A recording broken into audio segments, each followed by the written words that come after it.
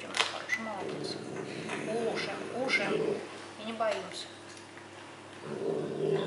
Да, если она дикое животное кушает из рук человека, это... Кушай, кушай, кушай, кушай. Кушай, кушай, кушай.